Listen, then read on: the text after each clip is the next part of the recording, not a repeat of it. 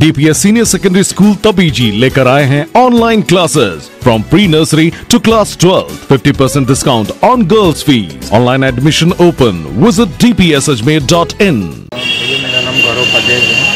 और मैं धोलावटा गहलोती की के अंदर अपना ई मित्र का सेंटर चलता है और उसके अंतर्गत हम लोग जो राजस्थान सरकार के द्वारा हमें जो निर्देश प्राप्त हुआ था, अभी कुछ ही समय पहले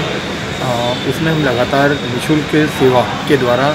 जो भी लोग आ रहे हैं, जिनका अभी तक खाद्यान्न सुरक्षा रजिस्ट्रेशन में नाम नहीं था या उनकी मजदूर डायरी नहीं बनी हुई थी, उनको किसी प्रकार का लाभ नहीं मिला था तो उनके लिए राजस्थान सरकार द्वारा एक निर्देश दिया गया था कि आप लोग ई मित्रा पर जाकर और वहाँ से आप रजिस्ट्रेशन कराएँ, ताकि उनको जो भी सरकार द्वारा गेहूँ या जो भी खाद्यान्न सामग्री मिलेगी, वो उन्हें अलॉट किया जाएगा। तो उसके अंतर्गत हम निरंतर ये कार्य कर रहे हैं और लगभग मैंने अपने ई मित्र के माध्यम से 700 से साढ़े सात लोगों का निःशुल्क रजिस्ट्रेशन अभी तक मैं कर चुका हूँ। इसके द्वारा कई ऐसे गरीब लोग भी हमारे सामने आए, जिनके पास खाने के लिए भी अभी तक भी सुविधाएँ नहीं हैं और उनको काफ़ी समस्याएँ आ रही है। लेकिन हम उनकी परिस्थितियों को ध्यान में रखते हुए मैंने उन सभी का इसमें रजिस्ट्रेशन कराया है और मैं चाहता हूँ कि अभी भी जिन लोगों को ऐसी समस्याएँ हैं,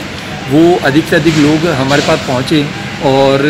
अगर उनको किसी प्रकार की समस्याएँ आ रही है तो मैं उनकी निस्वार्थ सेवा करने के लिए तत्पर हूँ और लगातार कार्य करता रहूँगा। इसके लिए माननीय अनीता जी बदेल का भी मैं आभार व्यक्त करूँगा कि जब जब मुझे समस्या हुई तो उन्होंने हमारे लिए कार्य करा और आगे इसके लिए सरकार तक हमारी बात को पहुँचाया, क्योंकि कई समय तक सर्वर डाउन रहा था। और अभी तक आज ही हमारी मीटिंग हुई है, उसमें हमें बताया गया है कि आज शाम तक ये सर्वर प्रॉपर वे में काम करने लगेगा।